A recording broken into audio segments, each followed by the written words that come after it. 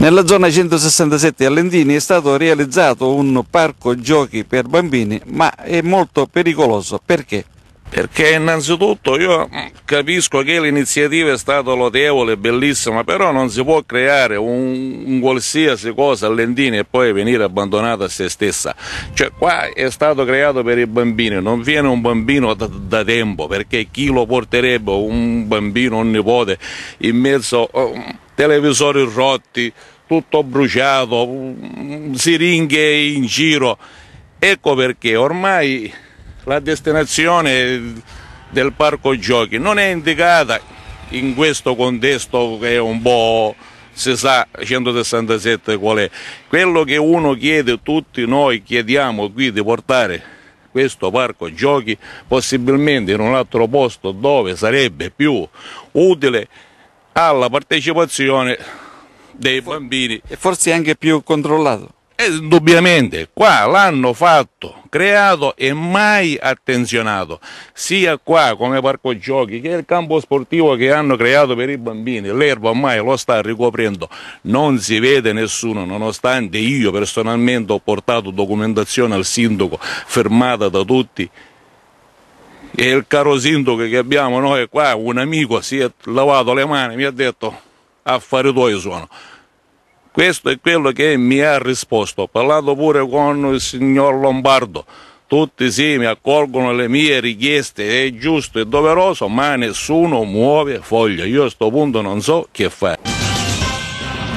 Continuano ad abbassare per sempre le saracinesche dei rispettivi negozi, commercianti che operano nella centralissima via Garibaldi a Lentini e non solo. In via Garibaldi infatti non si contano più i cartelli affissi davanti ai negozi che indicano la chiusura dell'attività commerciale e quindi le proposte di affitto dei locali a nuovi potenziali operatori commerciali. La crisi economica in effetti sta portando al collasso l'intera economia locale e questo non rappresenta un buon auspicio per i cittadini e soprattutto per i giovani che per programmare meglio il loro futuro sono costretti ad emigrare e quindi a lasciare Lentini. Il campanello d'allarme non è scattato solo in via Garibaldi, ma anche nelle zone periferiche del paese, dove commercianti e artigiani non riescono più a racimolare le somme non solo per pagare le tasse, ma anche per vivere.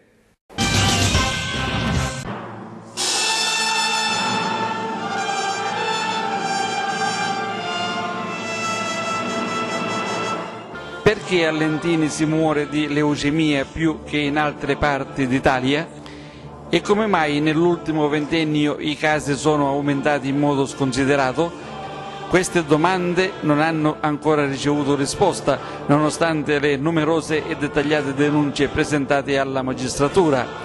Tutto sembra essere iniziato il 12 luglio 1984 quando un aereo militare americano C-141B precipita nella contrada Biviere alle porte di Lentini. Cosa trasportava l'aereo è ad oggi ignoto a tutti, ma da quel momento si scatena una pestilenza, aumenta il numero di malati di leucemie e tumori al cervello. Dopo ripetute indagini si leva un terribile sospetto, a scatenare il 12 luglio 1984 l'elevatissimo calore e l'incendio spontaneo potrebbero essere state le barrette di uranio impoverito contenute nell'aereo. Si parla di un carico di 44 tonnellate. Il 14 settembre 2007 il caso addirittura approda anche in Parlamento.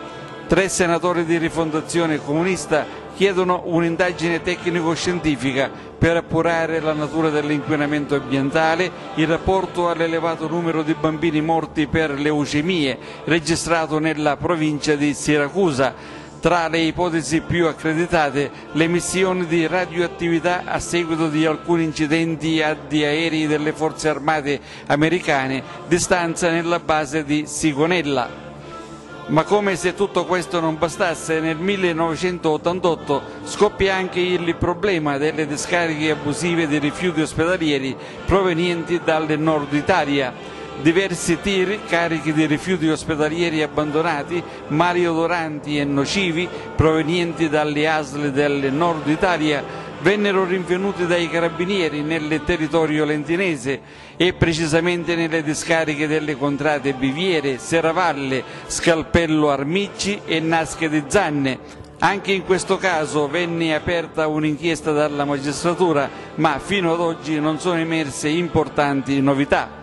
È un viaggio nell'inferno dei morti dimenticati e dei vivi, il cui destino è segnato inesorabilmente, scrive oggi sulla stampa Guido Ruotolo.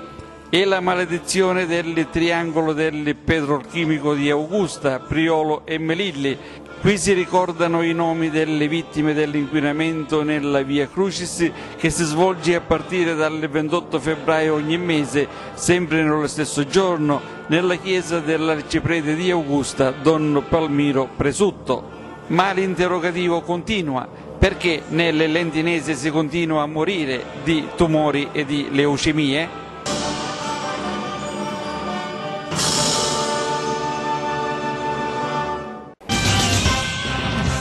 Il comando Maristelli di Augusta comunica che è stato pubblicato sulla Gazzetta Ufficiale il bando di concorso per la missione di 118 allievi alla prima classe dei corsi normali dell'Accademia Navale di Livorno.